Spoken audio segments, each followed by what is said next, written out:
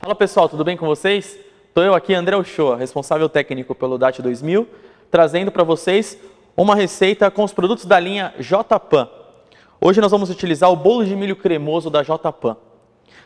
Eu fiz uma variação de produtos, onde tem a linha mais seca, mais rústica, e uma parte aqui com uma cobertura mais puxada para um brigadeiro cremoso de milho. Vai ficar sensacional, tenho certeza que vocês vão adorar. Vem comigo no passo a passo da receita. Bom pessoal, vou começar fazendo o preparo da massa do nosso bolo de milho cremoso da J-Pan. Para isso eu vou começar colocando aqui 1.100 ml de água, temperatura ambiente, 800 gramas de ovos, ou aproximadamente 16 unidades. E 2 kg de pré-mistura para bolo de milho cremoso da J-Pan. Bom, pessoal, agora é super simples de fazer. Nós já colocamos os ingredientes aqui. Vamos levar essa mistura toda para bater por aproximadamente 2 minutos. Em seguida eu levo para as formas.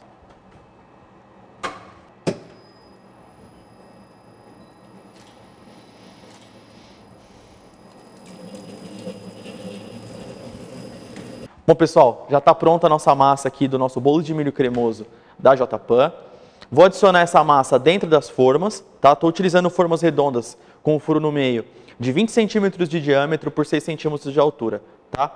Vão mais ou menos 640 gramas de massa dentro dessa forma. Se for ballerine, 380 gramas de massa, tá? Eu estou utilizando a ballerine quadrada. E aqui do lado eu tenho forminhas pequenas, aquelas de pudim, mas é só para complementar para vocês verem um diferencial aí.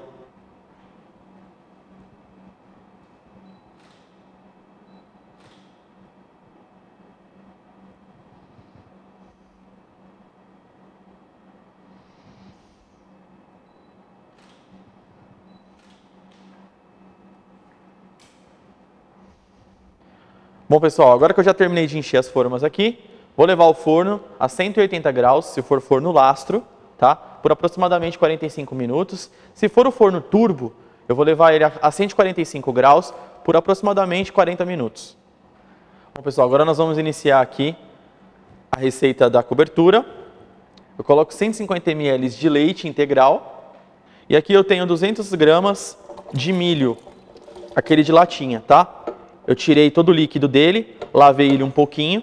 Vou iniciar aqui o batimento até que ele fique totalmente triturado e misturado com o leite, tá?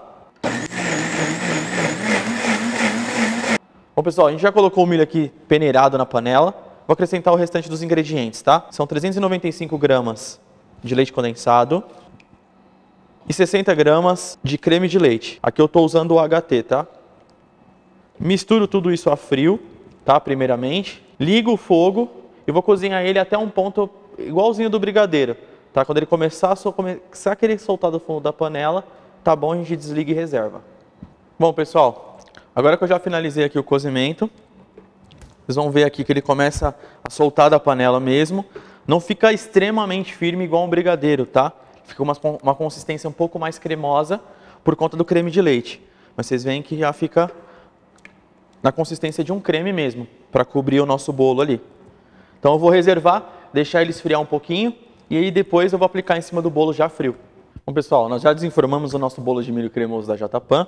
Agora eu vou aplicar aqui a nossa cobertura, que é aquele cremezinho que a gente cozinhou lá. Então, pus ele numa manguinha de confeitar com um biquinho perlê fino. Venho aqui na cavidade do nosso ballerine e aplico aqui o recheio bem devagar, bem tranquilo. Vou aplicando até o centro. Ó. Por cima desse recheio, eu venho com um pouquinho de canela, não muita, a canela é um pouco forte, e aplico um pauzinho de canela aqui na pontinha para decorar. Bom, pessoal, está finalizado aqui o nosso bolo de milho cremoso da J-Pan. Trouxe mais essa variação para vocês. Aqui nós temos o bolo mais seco, né? Aquele bolo para a gente tomar um café à tarde, vende nas padarias. Polvilhei um pouquinho de canela por cima, bem pouquinho.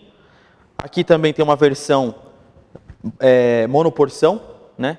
Que também está muito forte nas padarias. Então o valor fica um pouco menor. Você pode vender até mais aí na sua padaria.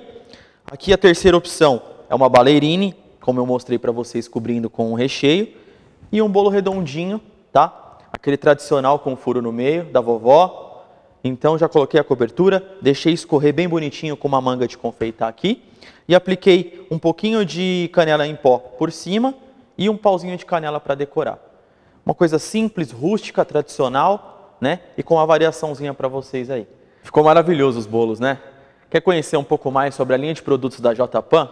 É muito simples. Você vai entrar no site www.jpan.com.br. Lá você tem toda a linha de produtos e a gama de produtos deles, tá? Para vocês aproveitarem e curtirem, fazerem outras e outras receitas aí com os produtos JPAN.